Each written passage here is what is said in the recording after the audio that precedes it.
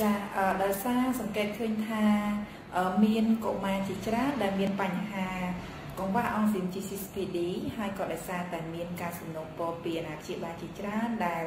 គាត់មានកូនមានបញ្ហាជំងឺកង្វះអង់ស៊ីម GCPD នេះឲ្យនាងខ្ញុំធ្វើនៅវីដេអូឃ្លីបខ្លីមួយ ជួយពន្យល់បង្ហាញអំពីជំងឺកង្វះអង់ស៊ីមនេះចឹងហើយនៅថ្ងៃនេះនាងខ្ញុំនឹងសូមធ្វើការបកស្រាយនៅ ថាតើអ្វីជាជំងឺកង្វះអង់ស៊ីម GCPD ហើយថាតើអ្វីទៅជាអង់ស៊ីម GCPD ចាជំងឺកង្វះអង់ស៊ីម GCPD គឺជាជំងឺមួយដែលកើតមានពីកំណើតឬមួយក៏ហៅថាជាជំងឺមួយដែលដំណពូជ genetic ដែលវាកំណត់នៅលើក្រូម៉ូសូម X ហើយដូច្នេះហើយគឺវាកើតឡើងតែនៅលើក្មេងប្រុសតែប៉ុណ្ណោះពីព្រោះនៅលើក្មេងប្រុសគឺក្មេងប្រុសមានក្រូម៉ូសូម X និង Y ចំណែកនៅលើក្មេងស្រីគឺមានក្រូម៉ូសូម XX អញ្ចឹងចំពោះក្មេងស្រីគាត់មានក្រូម៉ូសូម X ដល់ទៅ2អញ្ចឹងគាត់គ្រាន់តែទុកនៅជំងឺកង្វះអង់ស៊ីម CC-speed នេះប៉ុណ្ណោះប៉ុន្តែចំពោះក្មេងប្រុសបើគាត់មានក្រូម៉ូសូម X ដែលមានកំណត់ថាកង្វះអង់ស៊ីម CC-speed នេះគឺគាត់នឹងស្ដែងចេញជារោគសញ្ញាឬគាត់មានជាជំងឺ CC-speed នេះហើយចាហើយអឺ សួរថាតើអ្វីទៅជាអង់ស៊ីម GC-speed GC-speed ដែលអក្សរពេញហៅថា glucose phosphate dehydrogenase នេះវាគឺជាអង់ស៊ីមមួយដែលនៅក្នុងខ្លួនយើងនោះវាមានតួនាទីសំខាន់នៅក្នុងការថែរក្សាកោសិកាគ្រាប់ឈាមក្រហមរបស់យើងពីសារជាតិអុកស៊ីតកម្មមួយចំនួនអញ្ចឹងកាលណាកង្វះនៅអង់ស៊ីម GC-speed នេះវាឲ្យគ្រាប់ឈាមក្រហមរបស់យើងនោះគឺងាយនឹងបែក ចាដែលបង្កឲ្យទៅជាបញ្ហាគឺហៅថាបែកគ្រាប់ឈាមឬមួយក៏ភាសាអង់គ្លេសហៅថា hemolytic anemia នេះចាអញ្ចឹងអឺតើចំពោះកុមារដែលគាត់មានបញ្ហាជំងឺកង្វះអង់ស៊ីម GCPD នេះគាត់មានរោគសញ្ញាយ៉ាងដូចម្ដេចខ្លះអឺចំពោះកុមារដែលមានជំងឺនេះគឺគាត់អឺនឹងមិនមានរោគសញ្ញាអ្វីទាំងអស់ គាត់មើលទៅគាត់មានសុខភាពធម្មតា មានការលូតលាស់ធម្មតា មានបញ្ញាវាងវៃធម្មតាដោយកុមារដទៃទៀតអញ្ចឹងនៅក្នុងករណីដែលគាត់មិនបានប៉ះជាមួយនឹងសារជាតិអុកស៊ីតកម្មមួយចំនួនដែលធ្វើឲ្យបាយក្របឈាមនឹងទេចាអញ្ចឹងនៅក្នុងករណីដែលគាត់ទៅប៉ះជាមួយនឹងសារជាតិអុកស៊ីតកម្មដែលមាននៅក្នុងចំណីអាហារដែលមាននៅក្នុងថ្នាំមួយចំនួននិងការបង្ករោគមួយចំនួន អញ្ចឹងសារជាតិអុកស៊ីតកម្មហ្នឹងវាត្រូវការអង់ស៊ីម GCPD ហ្នឹងដើម្បីធ្វើការសំយោគឬមួយទៅធ្វើប្រតិកម្មនឹងអញ្ចឹងកាលណាខ្វះទៅអាសារជាតិអុកស៊ីតកម្មហ្នឹងវាទៅធ្វើឲ្យបែកក្របឈាមក្រហមចានាងខ្ញុំសូមអនុញ្ញាតបញ្យល់បែបងាយងាយឲ្យអាណាព្យាបាលទស្សនិកជនបានយល់តាមបែបចាមិនមែនតាមបែបវិទ្យាសាស្ត្រពេកចាអញ្ចឹងរោគសញ្ញាហ្នឹងគឺបើសិនបើក្មេងគាត់ ខ្លួនរបស់គាត់ប៉ះជាមួយនឹងសារជាតិហ្នឹងគឺវាធ្វើឲ្យក្មេងនឹងបែកក្របឈាមក្រហមអញ្ចឹងកាលណាក្មេងបែកក្របឈាមក្រហមនឹងស្ដែងចេញជាសញ្ញាដូចជាភាពស្លេកស្លាំង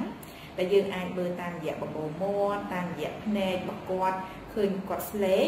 ទី2គឺឃើញស្បែកលឿងទី3គឺឃើញបេះដូងដើរញាប់ដង្ហើមហត់កុមារលហិតលហៃអស់កម្លាំងចាអឺ គាត់អាចបត់ជើងតូចមកមានពណ៌ល្អក់ដូចពណ៌ទឹកតែអញ្ចឹងចាហើយអឺបើយើងស្ទីបពោះគ្រូពេទ្យស្ទីបពោះទៅគឺឃើញអណ្ដើកអណ្ដើករបស់គាត់ហ្នឹងរីកធំចានេះគឺជាសញ្ញាដែលសបញ្ជាក់ថាមានការបែកក្របឈាមចឹងនៅក្នុងករណីដែលធ្ងន់ធ្ងរកុមារកង្វះអង់ស៊ីម GCPD គឺត្រូវសម្រាប់ពេទ្យត្រូវការអុកស៊ីហ្សែនត្រូវការបញ្ចូលឈាមត្រូវការចាការព្យាបាលពីគ្រូពេទ្យ ក៏ប៉ុន្តែបើសិនបើគាត់គ្រាន់តែកង្វះបាយក្របឈាមតិចតួចទេគឺ ជាក់ស្ដែងទៅតាមការពិនិត្យរបស់គ្រូពេទ្យគាត់នឹងមើលទៅតាមជាក់ស្ដែងថាកុមារគួរតែគេងពេទ្យឬមួយក៏អត់ហើយបើសិនជាតិចតួចទេ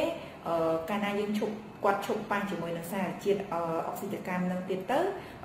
គ្រាប់ឈាមគាត់នឹងកកើតឡើងមកវិញថ្មីទៅទៀតដែរអាគ្រាប់ឈាមចាស់ហ្នឹងវាបែកទៅអាគ្រាប់ឈាមថ្មីហ្នឹងវាកើតមកវិញធ្វើឲ្យគាត់មានគ្រាប់ឈាមគ្រប់មកវិញគាត់លែងមានបញ្ហាអីតទៀតដែរចា៎ អញ្ចឹងសួរថាសំណួរសួរតទៀតថាតើតើយើងធ្វើដូចម្ដេចបានយើងដឹងថាកុមារមានជំងឺកំផាអង់ស៊ីម GCPD នេះជាទូទៅយើងអាចដឹងទេលើកឡើងតែមានរោគសញ្ញាក៏ប៉ុន្តែដោយសារបច្ចេកទេសបច្ចេកវិទ្យាពេទ្យទំនើបឥឡូវនេះយើងអាចដឹងតាមរយៈការធ្វើ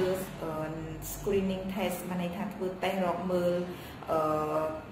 កង្វះអង់ស៊ីមនឹងតាមរយៈជួបកែងជើងទៅលើទីរក់ដែលគាត់មានវ័យ48ម៉ោងទៅ72ម៉ោងណាគាត់នៅតាមមន្ទីរពេទ្យយើងអាចធ្វើតេស្តជួបកែងជើងដើម្បីរកមើលនៅជំងឺកង្វះអង់ស៊ីមនេះដែលតេស្តជួបកែងជើងនេះគឺមាននៅក្នុង clinic Mami Doctor ផ្ទាល់តែម្ដងអញ្ចឹងចំពោះណាជាបាលដែលគាត់អឺមិនបានធ្វើតេស្តកែងជើងនៅឯមន្ទីរពេទ្យដែលគាត់សម្អាល កូនហ្នឹងគាត់អាចយកកូនគាត់មកធ្វើតេស្តនៅក្នុង clinic Mami Doctor ផងដែរចា៎អញ្ចឹងយើងអាចធ្វើ screening test ហ្នឹងទៅយើងអាចដឹងបានថាទីរួនគាត់មានកង្វះអង់ស៊ីម GC2D អញ្ចឹងផលប្រយោជន៍ច្រើនខ្លាំងបំផុតនោះគឺយើងអាចការពារកូនយើងពីការពីការប្រើប្រាស់ថ្នាំឬមួយក៏ការញ៉ាំអាហារឬមួយក៏សារជាតិអីដែលអាចធ្វើឲ្យបែកគ្រាប់ឈាមដល់កូនរបស់យើងចា៎អញ្ចឹងសួរថាតើ ជំងឺ GCSPD កង្វះអង់ស៊ីម GCSPD នេះអាចជាបានជាសះស្បើយដែរឬទេ ចាជំងឺកង្វះអង់ស៊ីម GCSPD នេះវាជាជំងឺដែលមានពីកំណើតដំណពូជ genetic អញ្ចឹងគឺมันមានថ្នាំអ្វីជាបានឲ្យជាសះស្បើយនោះទេក៏ប៉ុន្តែសូមអាណាព្យាបាលទាំងអស់ក៏មានការព្រួយបារម្ភឬមួយក៏ភ័យថាកូនរបស់យើងនឹងមានបញ្ហាมันអាចធំលូតលាស់ឬដូចកូនគេគឺកុមារដូចនាងខ្ញុំនៅតែនិយាយថាកុមារដែលមានកង្វះអង់ស៊ីម GCSPD គាត់នឹងមានសុខភាពល្អ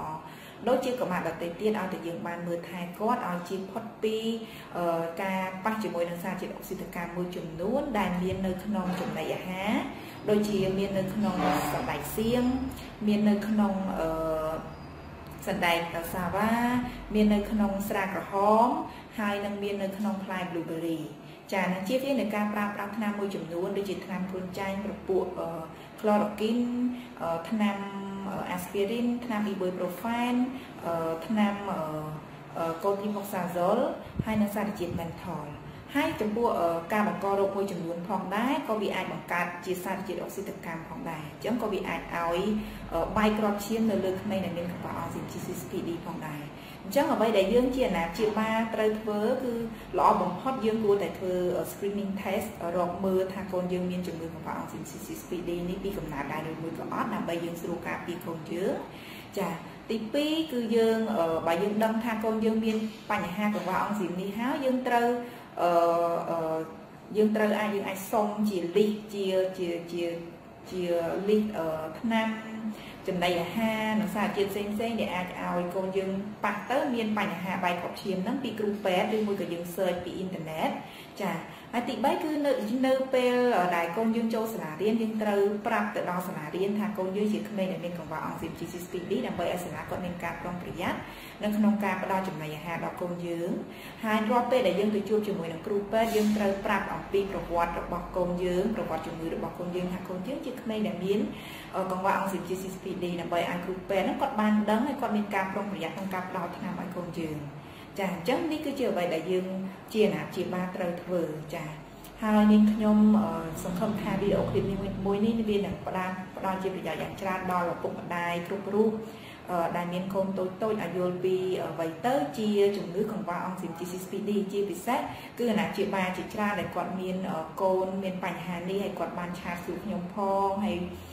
គាត់បានយកកូនមកជួបផ្ទាល់ជាមួយនាងខ្ញុំផងហើយមានអាណាព្យាបាលមួយខ្លះទៀតហ្នឹងគាត់យល់ខុសថាជំងឺ GCPD នេះជាជំងឺដែលអាឡែស៊ីជាមួយនឹងសណ្តែកសៀងដែលតាមពិតវាមិនមែនជាការអាឡែស៊ីទេវាជាជំងឺមួយដែលកង្វះអង់ស៊ីមហើយកាលណាក្មេងដែលញ៉ាំសណ្តែកហ្នឹងទៅសណ្តែកហ្នឹងវាមានសារជាតិអុកស៊ីតកម្មវាធ្វើឲ្យបាយគ្រាប់ឈាមដោយសារអត់មានអង់ស៊ីម GCPD នេះជួយការពារចាអញ្ចឹងអរគុណច្រើនសូមគោរពរៀង